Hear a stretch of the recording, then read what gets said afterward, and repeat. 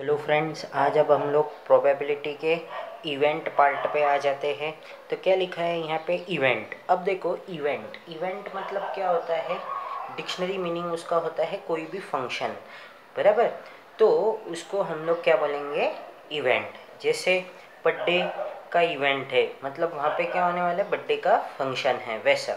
तो अब जो भी इवेंट करते हैं, वहाँ से हम लोगों को कुछ ना कुछ तो जो भी जो भी कुछ कार्य करना है, जो भी कुछ काम करना है, जो भी कोई वर्क है, वो पूरा होना चाहिए। जैसे हम लोगों ने अगर स्पोर्ट्स इवेंट रखा, उसमें क्रिकेट का गेम रखा तो अगर चार पाँच टीम्स है तो उसमें से कोई एक टीम जीतेगी तो वो हम लोगों का क्या बोलेंगे, हम लोग फेवरेबल आउटकम मतलब यहाँ से कोई टीम जीत करके आई है करके। तो अब जरा समझते हैं इसको the outcome satisfying particular condition बराबर? अब ये जो आउटकम हम लोगों ने क्या रखा था? वहाँ पे इवेंट क्या रखा था? क्रिकेट खेलना है और क्रिकेट खेल के और यहाँ पे तुमको जीतना है। तो ये क्या हुआ? सेटिस्फाइंग पर्टिकुलर कंडीशन ये कंडीशन को सेटिस्फाई किया और उससे क्या हुआ? वो फेवरेबल आउटकम आया। फिर उसके बाद में a set of favourable outcomes of a given sample space is an event ठीक है ना? अब, ये इसमें जो भी कोई सैंपल स्पेस है सैंपल स्पेस मतलब अगर समझो चार पाँच चार पाँच टीम है, चार टीम है तो कितने सैंपल स्पेस हो जाएँगे? फोर तो event is a subset of sample space ठीक है ना? इवेंट कभी भी कहाँ का किसका सबसेट होता है? सैंपल स्पेस का। जैसे समझो अगर कोई क्रिकेट टूर्नामेंट रखा है क्रिकेट टूर्नामेंट उसका नाम है और उसके अंदर A B C D team है। तो ये सब क्या है? सब एक दूसरे के सबसेट है। ठीक है ना? तो ये सब किसके सबसेट है ये लोग? क्रिकेट टूर्नामेंट के। अगर ए बी वन ग्रुप के है और बी सी टू ग्रुप के है तो ये क्या हो जाएगा? वन ग्रुप के सबसेट हो जाएँगे ए बी और वैसा करके तुमको समझ गए ये। ठीक है ना? आगे चलते हैं। सबसेट मतलब एक और एक एग्जांपल लेके मैं समझाऊँगा। अब जैसे मुंबई। मुंबई किसका पार्ट है? महाराष्ट्र। महाराष्ट्र किसका पार्ट है? इंडिया का। ठीक है ना? तो ऐसा। तो अब देखो for example events are generally denoted by the capital letters A B C D है ना? तो ये इवेंट्स कैसे हम लोग डिनोट करते हैं? ए बी सी डी से। If two coins are tossed and a is event of getting at least one tail then the favorable outcome are as follows hmm? at least one tail at least मतलब एक तो आना ही चाहिए अगर दो भी आया तो भी चलेगा अगर आपने देखो कितने कॉइन्स को टॉस किया टू कॉइन्स को टॉस किया ठीक है ना तो आपको टू कॉइन्स अगर तुमने टॉस किया ये कॉइन वन है और ये है कॉइन टू तो अगर कॉइन वन में टेल आया सेकंड में भी टेल आया तो वो हम लोगों ने लिखा टेल हेड फिर उसके बाद में हेड टेल है एच एच नहीं लिख सकते हेड हेड नहीं लिख सकते हैं। क्यों? क्योंकि क्या बोला है? एटलीस्ट वन टेल ठीक है ना? एटलीस्ट वन टेल होने के कारण एच एच यहाँ पे नहीं आएगा। तो क्या आएगा? The number of elements in the event A is denoted by N और ब्रैकेट में ए एन ए और here N A is equal to three ऐसा आपको शो करना है। इसके ऊपर एक पूरा का पूरा प्रैक्टिस सेट है, जो कि बहुत बहुत ज़्यादा इजी है। तो ज़रा ध्यान दीजिए यहाँ पे। ये क्या लिखा है? यहाँ पे write a sample space and a number of a sample point N S for each of the following ठीक है? ये तो आपको आता ही है अभी तक ठीक है? कोई थोड़ी सी नई बात सीखनी है इसमें। For each of the following experiment also write events A B and C in the set of N of A N of B N of C ठीक है? पहले, सबसे पहले जो भी क्वेश्चन आप पढ़ोगे, उसमें से आपको सैंपल स्पेस को फाइंड करना है, फिर उसके बाद में event A event B event C के तहत इसको करके कंप्लीट करके छोड़ देना है। ठीक है? तो इसको प्रेजेंट किस तरीके से करते हैं, वो देखते हैं। क्या क्वेश्चन दिया है तुमको? क्वेश्चन दिया है वन डाई इज़ रोल्ड अगर एक डाई को रोल करते हैं हम लोग तो इसका एस क्या बन जाएगा हमारा? एस बनेगा, हमारा सैंपल स्पेस बन जाएगा one two three four five six और सैंपल पॉइंट क्या हो जाएगा इसका?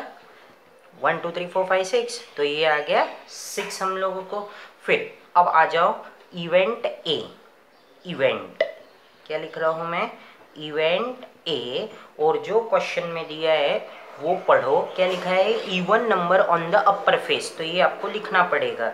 Even number on the upper face अब फ्रेंड्स इवन नंबर मतलब क्या होता है? जो डिविजिबल बाय टू होता है, उसको हम लोग क्या बोलते हैं? इवन नंबर तो क्या हो जाएगा यहाँ पे?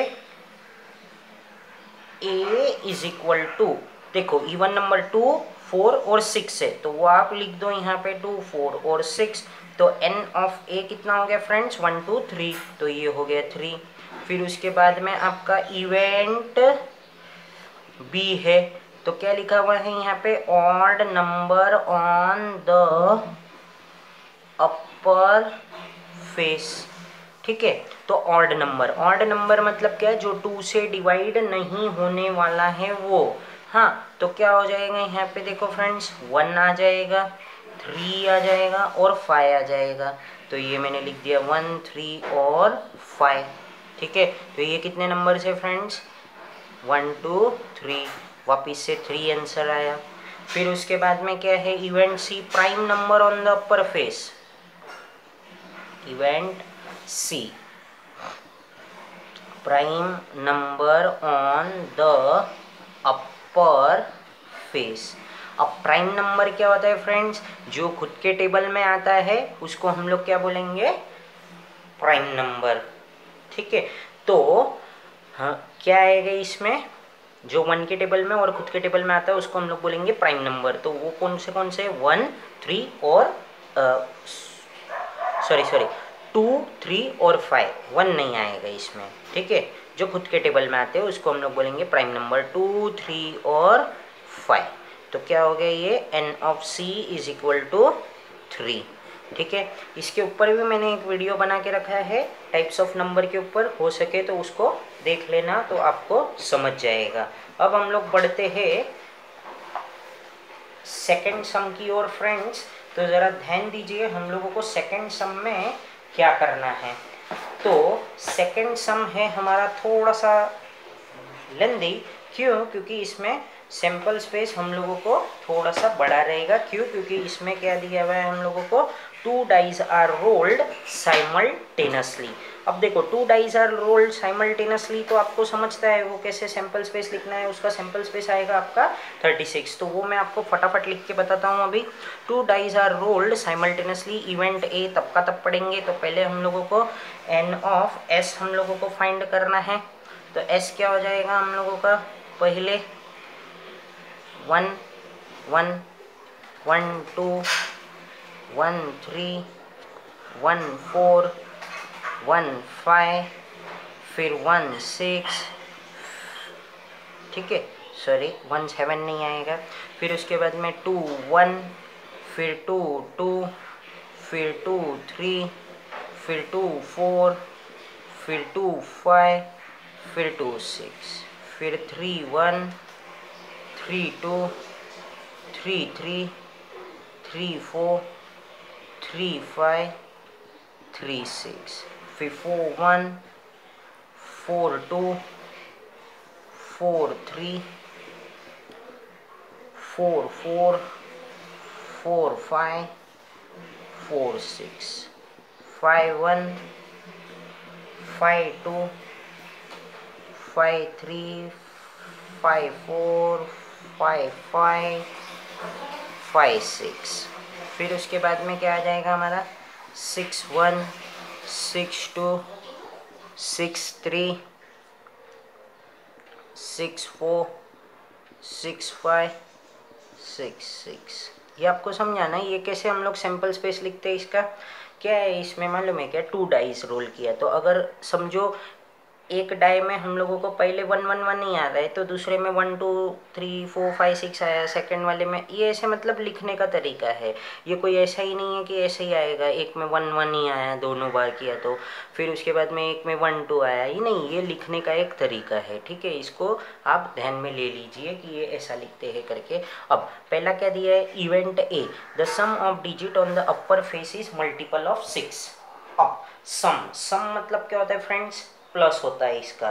और वो किसका है? मल्टीपल ऑफ़ सिक्स तो अब इवेंट ए इवेंट ए में क्या लिखा है? The sum of the digits on the upper face is a multiple of six ठीक है फ्रेंड्स तो अब ज़रा ध्यान दीजिए, ये अपन ने लिखा है यहाँ पे, अब सम सम करने के बाद में ये क्या होना चाहिए? छ से मल्टीपल तो क्या आएगा इसमें देखो जरा, ये वन वन नहीं काम है वन प्लस टू नहीं चलेगा तो वन प्लस फाइव चलेगा। तो ये हम लोग लेंगे वन प्लस फाइव तो ये कितना हुआ? सिक्स हुआ। फिर उसके बाद में टू वन नहीं चलेगा, टू टू भी नहीं चलेगा, टू थ्री नहीं चलेगा, टू फोर चलेगा। क्यों? क्योंकि कितना होता है वो सिक्स होता है। फिर उसके बाद में क्या होएगा फ्रेंड्स? टू फाइव चलेगा, नहीं चलेगा, ये भी नहीं चलेगा। थ्री प्लस वन, ये भी नहीं चलेगा। थ्री प्लस टू, ये भी नहीं चलेगा। थ्री प्लस थ्री चल जाएगा फ्रेंड्स। फिर उसके बाद में थ्री प्लस सिक्स भी चलेगा क्या? नहीं चलेगा, क्योंकि नाइन हो रहा है। फोर प्लस वन नहीं चलेगा, फोर प्लस टू चल जाएगा। फिर उसके बाद में क्या है? फोर और सिक्स, ये भी नहीं कुछ काम का है। फाइव और वन चल गया ये। फिर उसके बाद में हम लोगों को क्या करना है? फाइव वन हो गया। फिर फाइव टू कुछ काम करनी है। फाइव सिक्स कितना है? इलेवन है तो ये भी कुछ काम करनी है। सिक्स वन नहीं six two, six three, six four, six six काम का है। तो ये हम लोगों ने लिख दिया यहाँ पे सिक्स सिक्स। तो क्या लिखा था? The sum of the digits on the upper face is multiple of six ठीक है? तो मल्टीपल ऑफ़ सिक्स मतलब ये उनके टेबल में आने वाले नंबर्स कौन से कौन से है? तो ये हो गए। तो ये कितने one two three four five six तो आंसर कितना आ गया? सिक्स अब अगला देखो the sum of the digits on the upper face is minimum ten minimum ten मतलब क्या होता है कि दस तो कम से कम उसका आंसर आना चाहिए। जब प्लस करेंगे हम लोग तब। तो ये मैं पहले लिख देता हूँ the sum of digits on the upper face is minimum ten हाँ तो प्लस करने के बाद में। तो मुझे बताओ, ये कुछ काम के क्या हम लोगों के? टू सिक्स वगैरह, ये कुछ काम के नहीं है? थ्री थ्री सिक्स भी कुछ काम का नहीं है तो हम लोग डायरेक्टली यहाँ पर ही आ जाते हैं। फोर प्लस सिक्स कितना होता है? टेन होता है तो ये काम का आ गया हम लोगों के। फिर उसके बाद में यहाँ पे क्या आएगा? फाइव प्लस फाइव आ जाएगा एक काम में हम लोगों को। फिर उसके बाद में क्या आएगा? फाइव प्लस सिक्स भी आएगा। क्यों? क्योंकि मिनिमम टेन बोला है, उससे ज़्यादा भी चलेगा, कोई वादा नहीं है। यहाँ पे क्या हो गया? सिक्स प्लस फोर एक आ जाएगा हाँ। फिर उसके बाद में सिक्स प्लस फाइव आ जाएगा और सिक्स और सिक्स आ जाएगा। तो ये हमारा हो गया क्या? द सम सम मतलब क्या होता है फ्रेंड्स प्लस तो कोई भी इन दोनों नंबर में से तो मतलब ये वन, टू, थ्री, ये तो कुछ करना ही नहीं है। हम लोगों को इसको भूल ही जाना है। बराबर, डायरेक्ट हम लोग फोर प्लस सिक्स पे आ जाएँगे, टेन हो जाएगा वो, और फिर आगे ये तुम्हारे सामने है, कैसा किया है वो। One, two, three, four, five, six, वापिस से आंसर क्या आ रहा है? एन ऑफ़ बी का भी हमारा सिक्स आ रहा है। अब the same digit on the upper face same digit तो ये तो समझता है ना सेम सेम डिजिट मतलब वन वन, टू टू फिर थ्री थ्री फिर फोर फोर फिर फाइव फाइव और सिक्स सिक्स तो यही है इसका भी। तो same digits on the upper face same digit का मतलब क्या होता है? सेम ठीक है ना? तो इवेंट सी द मतलब दोनों टाइम में सेम डिजिट जो आ रही है, वो लिखना है हम लोगों को. ऑन द अपर फेस तो क्या हो जाएगा? सी में one one two two three three four four five five और सिक्स सिक्स ठीक है? फिर करली ब्रैकेट से क्लोज कर दो इसको. N of C is equal to कितना हो गया? One two three four five six तो आंसर कितना आ गया? हमारा सिक्स तो इसी के साथ में हमारा फ़र्स्ट सम कंप्लीट हो चुका है।